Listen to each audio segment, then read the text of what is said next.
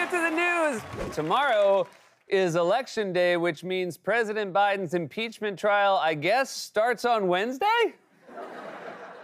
Former President Trump is reportedly planning to formally announce his presidential campaign on November 14th. No word yet on his choice for VP or First Lady.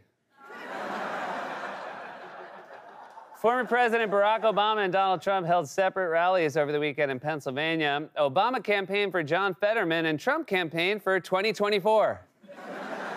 Democratic Congressional Campaign Committee Chair Sean Patrick Maloney said in an interview yesterday that Democrats will maintain control of Congress and added, quote, We're not perfect, but we are responsible adults who didn't attack the Capitol. Not exactly a high bar. Democrats are like the stepdad of political parties. They may be lame, but at least they're not the guy who walked out on you. hey, I'm here. Yesterday was the end of daylight savings time. In case you were wondering, why these all feel more like 1.30 in the morning jokes. the New York City Marathon was held yesterday, and Kenyan runner Evans Chebet was the men's champion with a time of 2 hours, 8 minutes, and 41 seconds. Two hours, eight minutes, and 41 seconds, the fastest anyone has ever gotten from Staten Island to Central Park. At a rally in Pennsylvania over the weekend, former President Trump called Florida Governor Ron DeSantis, quote, Ron DeSanctimonious. Has anyone ever been worse at coming up with nicknames? Imagine Trump and Top Gun. People, people, I know we all love Maverick, but I think I got one that beats it. Are you ready? Everybody ready? Airplane guy. That's right. Former President Trump referred to Florida Governor Ron DeSantis as Ron DeSanctimonious, which is a risky move for Trump because that's six syllables. a J.C. Penney location in Pennsylvania temporarily closed last week after a deer wandered into the store. Even crazier, a couple weeks ago, a shopper wandered in.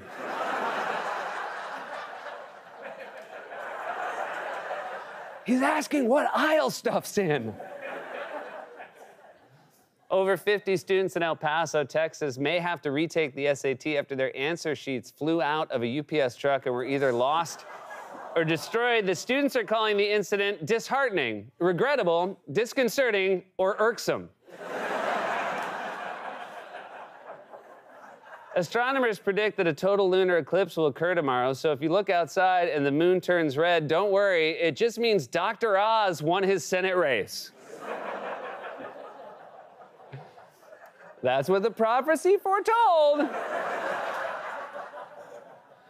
And finally, the makers of Miller Lite this week will offer a Christmas tree keg stand. And if you're wondering what Santa's bringing you, AA pamphlets.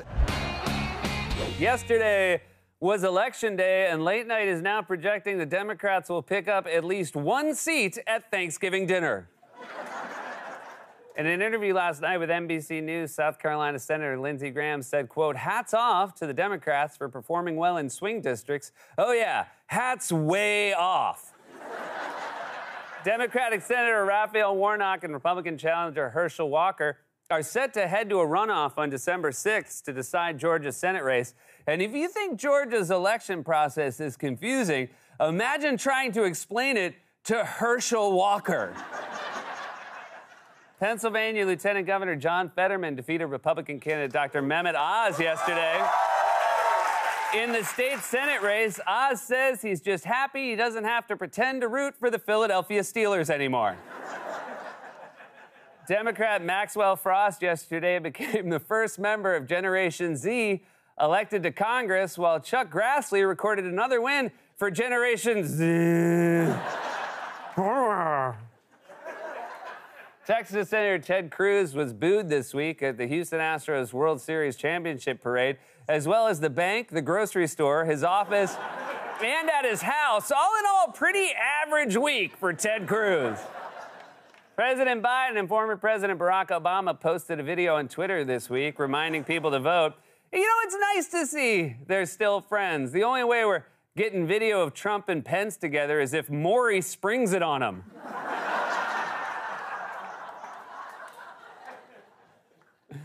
Maryland yesterday became the 20th state to legalize marijuana, which means that for the first time ever, there's something to do in Maryland. Former President Trump voted in yesterday's midterm elections in Florida, and then, because he can't help himself, took a bunch of ballots back to Mar a Lago. and finally, a Brooklyn man who was on the run from fraud charges was arrested recently in Florida after the federal agent who signed his arrest warrant spotted him at a Disney theme park. Huh, it's a small world. Always end with a dad joke.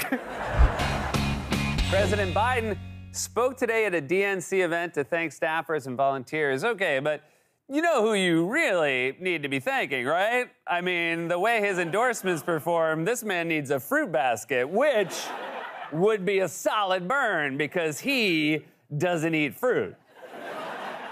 Following Democrats' surprisingly strong performance in the midterms, White House Chief of Staff Ron Klain tweeted yesterday, quote, never underestimate how much Team Biden is underestimated. And wow, what a rallying cry.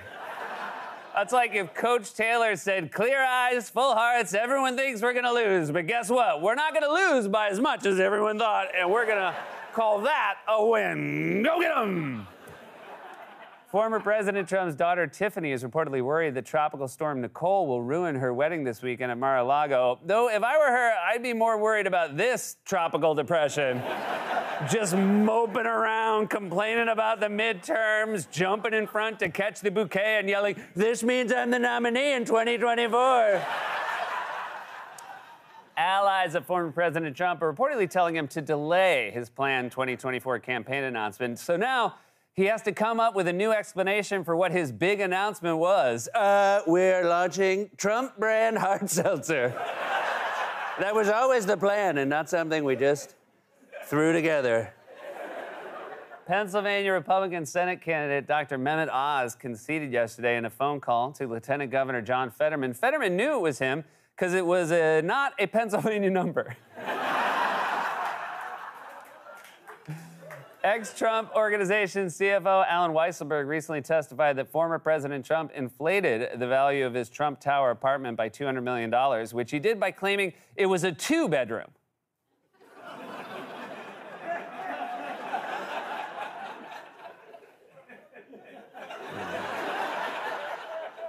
joke about New York City real estate, but I'll explain during the commercial.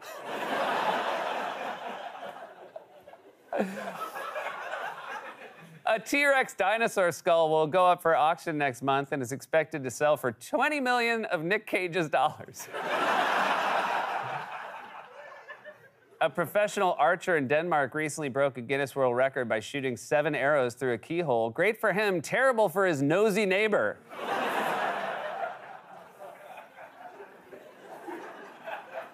Is that a two bedroom? There we That's.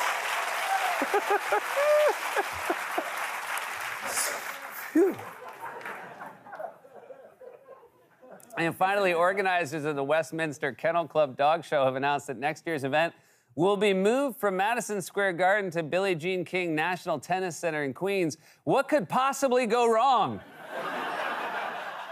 that was a monologue, everybody!